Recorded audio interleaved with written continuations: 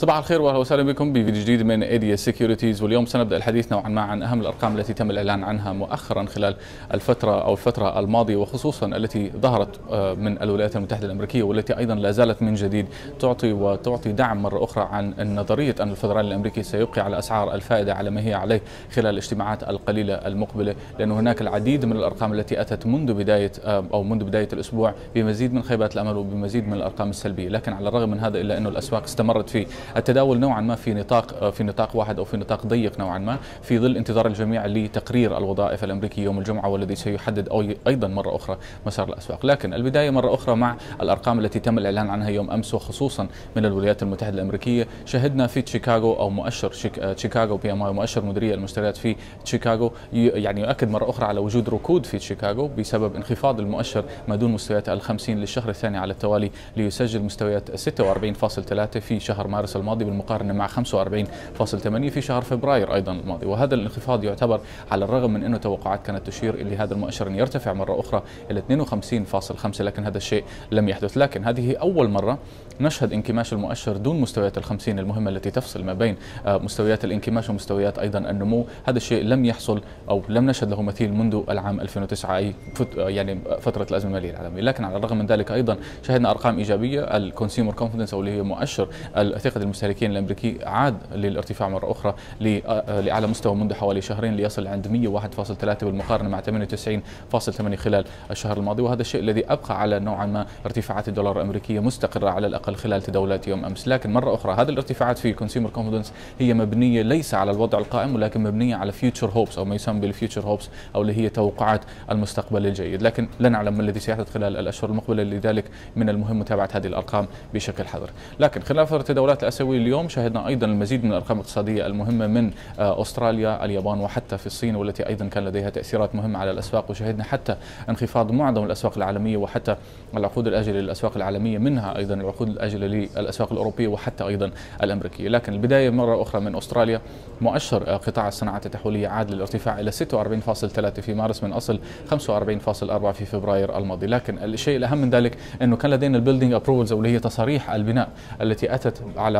يعني على الأقل أقل من التوقعات نوعا ما. انخفضت بواقع 3.2 في فبراير بعد أن كانت قد ارتفعت بواقع 5.9 في يناير الماضي. لكن هذه التوقعات أيضا من جديد كانت تشير إلى انخفاض المؤشر بواقع 3.8 لذلك الانخفاض إلى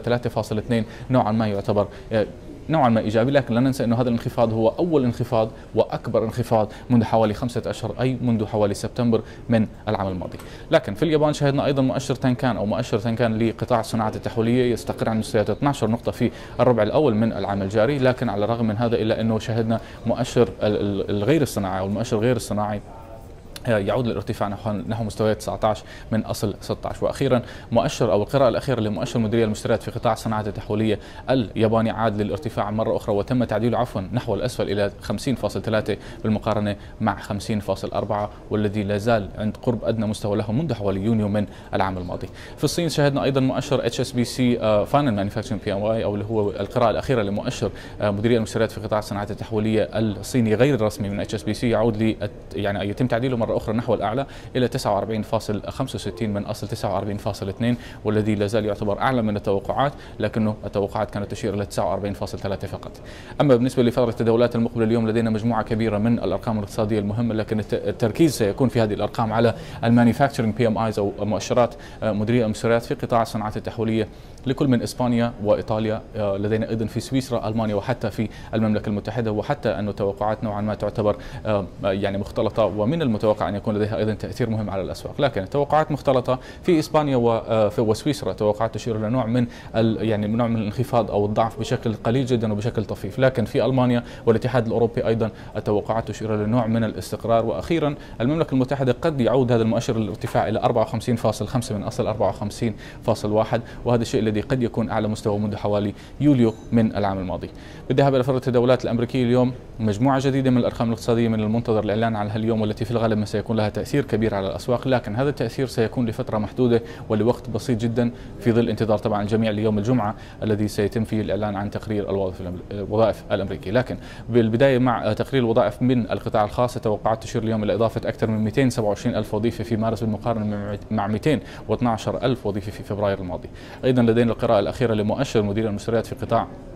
الصناعات التحويلية غير الرسمية من مؤسسة ماركت التوقعات تشير إلى استقراره عند 55.3 على الرغم من هذا إلا أنه مؤشر أو مؤشر مديرية المشتريات في قطاع الصناعات التحويلية الرسمي الأمريكي توقعات تشير لعودة للانخفاض مرة أخرى إلى 52.5 في مارس بالمقارنة مع 52.9 في فبراير الماضي والذي قد يكون فيما لو أتت الأرقام طبعا. كما توقعات سيكون الانخفاض الشهري الخامس على التوالي وأدنى مستوى منذ حوالي يناير من العام الماضي 2014 بالإضافة إلى ذلك أيضا construction spending واللي هي الإنفاق على الإنشاء المنشآت التوقعات تشير مرة أخرى إلى انخفاض بواقع 10 النقطة المئوية في فبراير بالمقارنة مع انخفاض آخر سجله خلال الشهر الماضي أيضا يناير بواقع 1.1 في يناير الماضي والذي فيما لو أتت أيضا الأرقام كما توقعات سيكون هو الانخفاض الشهري الثاني على التوالي الذي لم نشهد له مثيل أيضا منذ بداية العام الماضي 2014 هذا كل شيء لدينا في هذا التقرير المختصر نوعا ما عن أهم الأرقام التي ننظر إليها اليوم والتي تم الإعلان عنها يوم أمس. آه، يمكنكم متابعتنا على مواقع التواصل الاجتماعي تويتر فيسبوك ويوتيوب لمزيد من التفاصيل وسننشر أيضا اليوم المزيد من التقارير بالتفصيل نحو المزيد من الأرقام وما هي التوقعات للأسواق خلال الأيام المقبلة وأيضا حول آه، يعني أسواق العملات وأسواق السلع وحتى أسواق الأسهم. شكرا للمتابعة. نراكم مرة أخرى يوم غد.